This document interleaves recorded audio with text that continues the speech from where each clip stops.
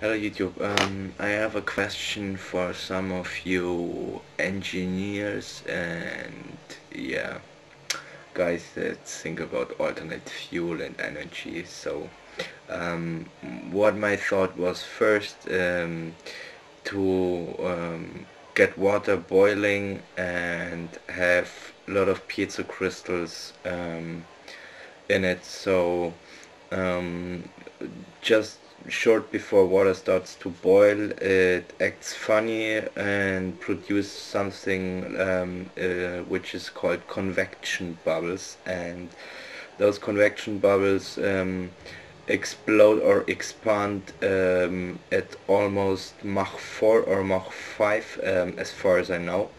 So uh, maybe somebody can verify that.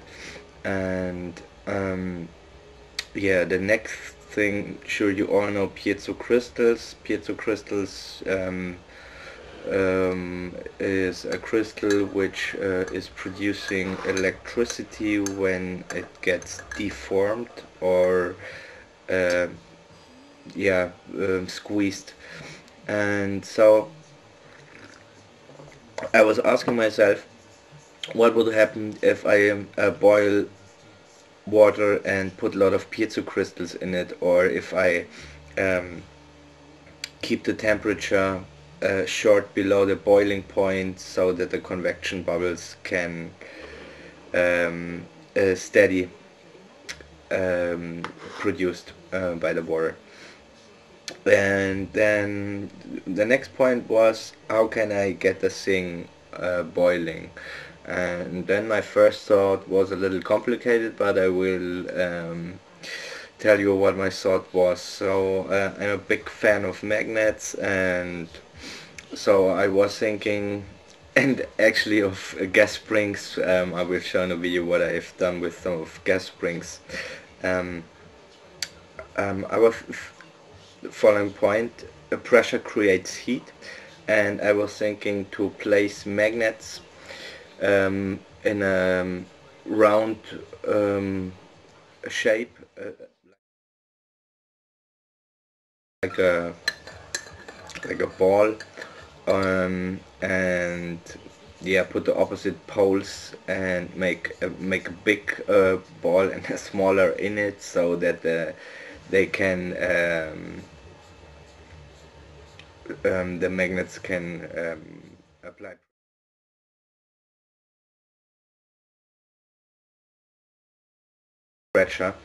and then I was starting yeah maybe maybe you can do it with gas springs to to uh, to get the water boiling. And that's what I'm to have a to have a, a non um, electric or um, fossil fuel way to get the water burning. Um, maybe sun would be nice also but um, then I start thinking and yeah the gas springs also would just create pressure to get the water boiling and the piezo crystals to emit electricity. And then I'm a little tricky mm, by the way. Yeah my right hand isn't working too good. ATM so um, yeah.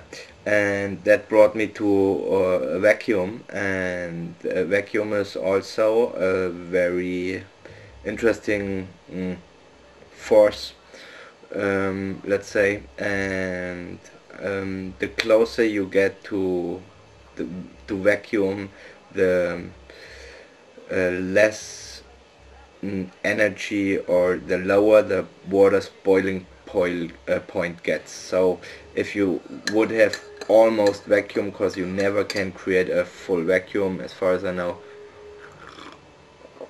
you um, and put some water in it, uh, it would boil, yeah. But it just not needed to get a full vacuum because that's not working anyway. So just uh, create some uh, a pressure level that is close uh, to uh, vacuum, which is not uh, too energetic or um, um, which has not too much energetic cost for you to, to do because you will need to uh, vacuum pump running or, or whatever. And that is not what we like. So um, we would just suck some of the air out to create a, a low pressure level. Um, and um, get the water boiling much earlier so you could maybe get uh, it in a um, way that um, a black uh, container which will hold uh, the whole thing would be um, enough in the sunlight that the heat from the sunlight gets the water boiling about the low pressure um, cabin uh, the water is inside and um, yeah and the crystals in it get hit by the convection bubbles. So what do you think about it? Would it work? Um, is it a good idea? Is it a bad idea? I have lots more and uh, would love to hear some comments and yeah. I just uh, for for that to maybe get it or just to put it to a lot of other ideas. They won't work. Okay so that's it. See you soon